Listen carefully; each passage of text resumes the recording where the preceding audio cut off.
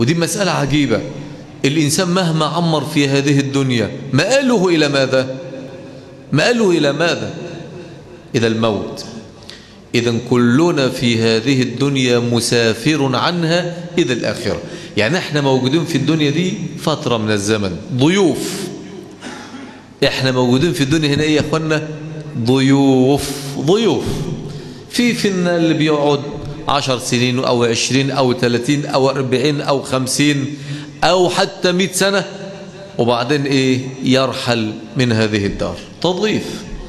هو فيه ضيف بيقعد في الدار ويخلد فيها ولا لابد أن يرحل؟ لابد أن يرحل. كل ابن أنثى وإن طالت سلامته يوما على آلة حدباء محمول. كلنا. سنرحل.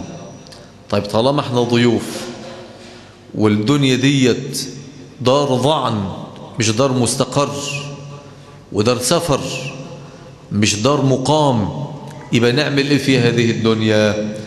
نجعلها مزرعة للآخرة. نعمر فيها للآخرة.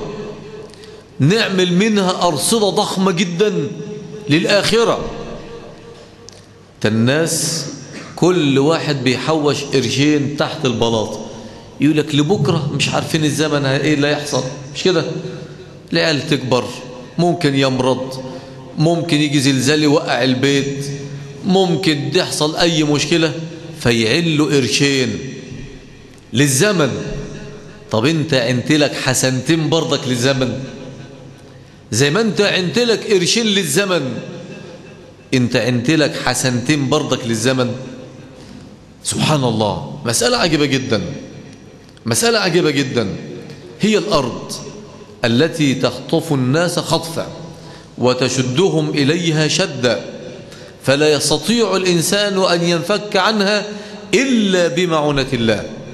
يعني بالفعل لما يكون واحد يا أخوانا مربوط بسلسلة جامدة جدا من ذا الذي يستطيع أن يفك وثاقه أو أن يحل قيده إلا إذا تأيد بقوي يعينه في ذلك.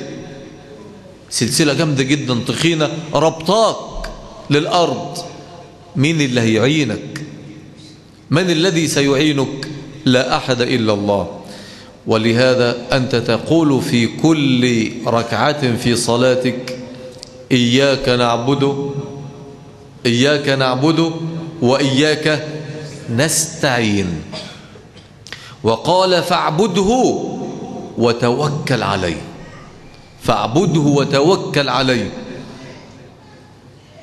فالإنسان في حاجة إلى الله في كل أموره في كل شؤونه.